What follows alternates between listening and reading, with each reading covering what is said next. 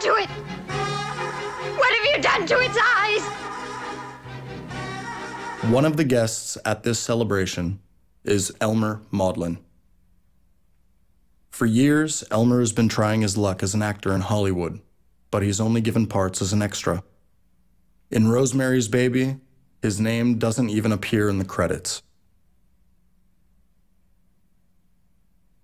One day, 40 years later, hundreds of photographs, letters, and other objects that belonged to Elmer Modlin and his family turned up next to a garbage container outside number 3, Calle Pez, in downtown Madrid.